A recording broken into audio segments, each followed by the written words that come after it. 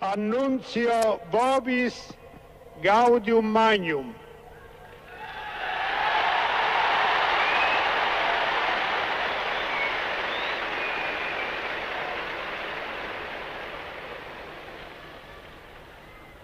Abemus Papam.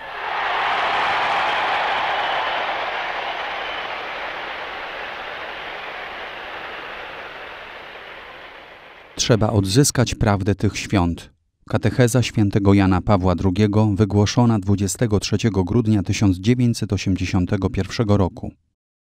Drodzy bracia i siostry, dzisiejsza audiencja odbywa się w atmosferze bliskiego już Bożego Narodzenia, które tak wymownie przemawia do umysłów i serc.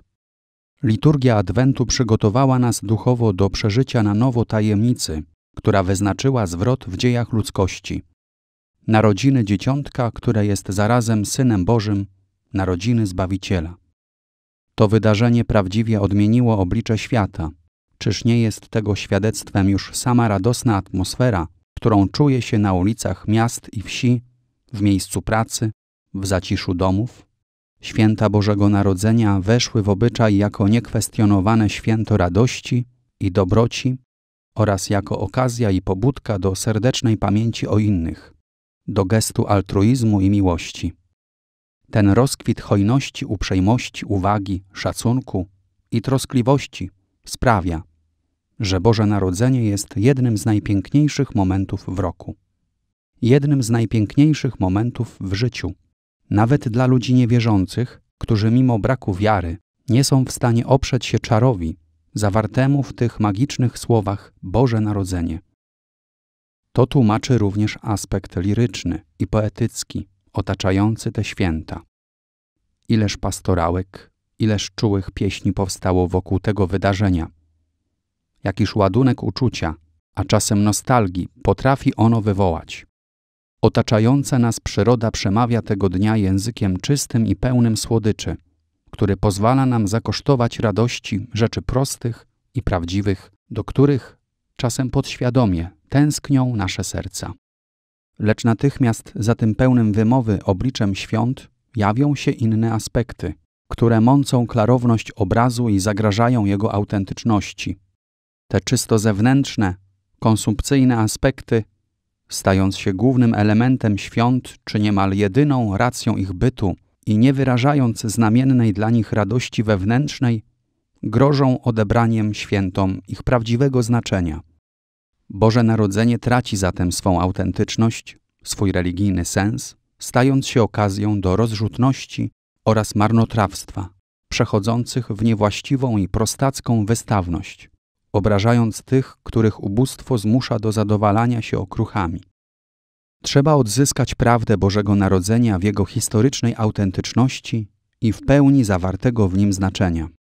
Jest więc faktem historycznym, że w określonym momencie dziejów, w pewnym miejscu świata, ze skromnej niewiasty z rodu Dawidowego narodził się zapowiadany przez proroków Mesjasz, Pan Jezus Chrystus. Znaczenie zaś tego faktu jest takie, że wraz z przyjściem Chrystusa całe dzieje człowieka znalazły swoje rozwiązanie, swoje wytłumaczenie i swoją godność. Bóg wyszedł nam naprzeciw w Chrystusie po to, byśmy mieli dostęp do Niego. Wystarczy dobrze się przyjrzeć, by zobaczyć, że historia ludzka jest nieprzerwanym pragnieniem radości, piękna, sprawiedliwości, pokoju. Wszystko to znaleźć może swą pełnię tylko w Bogu. Oto Boże Narodzenie ogłasza nam, że Bóg postanowił pokonać odległości, przebyć niewypowiedziane otchłanie swej transcendencji. Postanowił stanąć przy nas, aż po uczynienie naszego życia swoim życiem, aż postanie się naszym bratem.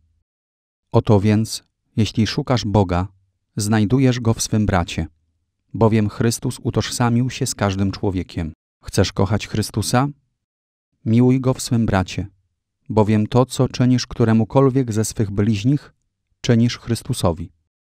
Jeżeli zatem będziesz dążył do tego, by się otworzyć z miłością na bliźniego, jeśli będziesz się starał żyć z nim w pokoju, jeśli zechcesz dzielić się z bliźnim własnymi dobrami po to, ażeby radość Twoja, będąc udziałem innych, stała się prawdziwsza, będzie przy Tobie Chrystus. Z nim zdołasz osiągnąć cel, którego pragnie Twoje serce świat bardziej sprawiedliwy, a więc bardziej ludzki. Niech Boże Narodzenie zastanie każdego z nas pochłoniętego odkrywaniem na nowo orędzia idącego ku nam od żłóbka w Betlejem. Potrzeba do tego nieco odwagi, lecz warto, bowiem tylko wtedy, gdy zdołamy tak się otworzyć na przyjście Chrystusa, będziemy mogli doświadczyć pokoju głoszonego przez aniołów w tę świętą noc. Niech Boże Narodzenie będzie dla Was wszystkich spotkaniem z Chrystusem, który stał się człowiekiem, aby każdy człowiek mógł stać się dzieckiem Bożym. Pater noster, stanchi vicetur tuum, adveniat regnum tuum fiat voluntas tua. Sicur in cielo ed in terra. Pane nostrum quotidianum da nobis odie. che di vita nobis vita nostra, circuda le nostre vittime, e vittoribus nostri, et ne nos induca in tentazione, sed libera nos a